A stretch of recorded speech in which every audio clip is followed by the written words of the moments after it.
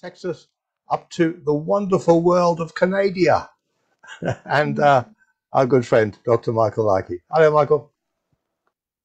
Hi, Kevin. Hi, everybody out there. It's a great honor and a pleasure to be here again this day.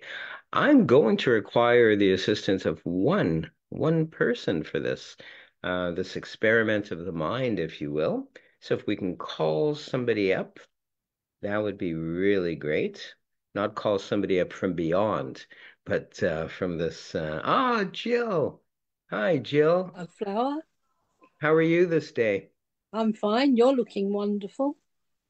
Wonderful to see you again, as always. Uh, we're going to try an experiment using ESP cards, what are commonly called ESP cards. Some people call them Zener cards, and they're named for Karl Zener, um, a parapsychologist, perceptual parapsychologist, who used them in experiments with um, Dr. Rhine at Duke University. And there's this whole thinking behind the symbology of the cards, um, very similar to Carl Jung's thoughts. Um, in other words, our subconscious mind is filled with symbols, and if we look at them enough, we can figure ourselves out and other people and all that sort of thing. We're we're not going to do anything quite as complex as that today. I I I'm pleased to announce yes. So um, we'll bring down the um, the camera, and I'm going to let's see what the best way to do this. We'll spread them out, and I would love you to change the order. Um, in other words, we'll call this one, two, three, four, five. You can switch one for five, two for three, whatever you want to do, as many times as you like, so that you're the one, it's as if you're the one who dealt the cards down in a particular order. So please, Jill, um, would you like to change anything or do you like it as is? One and four. One, two, three, four. One and four. We'll and show them two what four. and five. Two and five.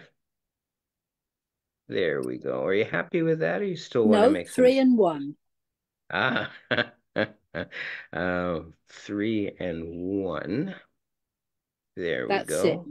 I'm happy We're with that. good. Yes. Now that's that's the easy part. You you get the easy part. I get the difficult part. I have a set of matching ESP cards here as well, and I've set it upon myself to attempt to match them. In other words, Mhm. to match my set with yours, and it's going to be challenging. There, there's a lot of theories as well saying, well, you can pick up uh, a feel of how much ink is on the face and all that sort of thing. I try to go with more looking at yours and seeing exactly, mm, boy, oh boy, I've set a difficult task for myself. I tell you, if this if this works, if we even get one, I'll be pleased and quite surprised. Oh, I trust sometimes you. It's so because I'm getting mixed, not mixed messages, but mixed impressions. Sometimes the black ink, indelible as it is, it tends to move around in my own mind. Why I have half a mind. And we're just by default, we're going to place that one there. I do suspect they match, but we'll see just how well I did. Your job was easy. Should we start? Yes. Honestly, I'm a little bit nervous. I'm a little bit scared. However, we did succeed in matching the first set. I think One I should quit. five ain't bad. Should I quit while I'm ahead? No, carry on. My wife says I should quit while I'm afoot, but I don't quite know what that means. Um, okay, we're going to look at this one, the three wavy lines. Unbelievable. Well, I've got two out of five. Splendid. Should I forge? Should I forge on? Go on. Yes. Go for it. Very good. Now remember, this was the default one. It was the last one left, so I didn't really have a choice. However, it does match. Two more, Ooh. the last two. I don't know about you, but I'm feeling rather cross today. We'll see. oh no.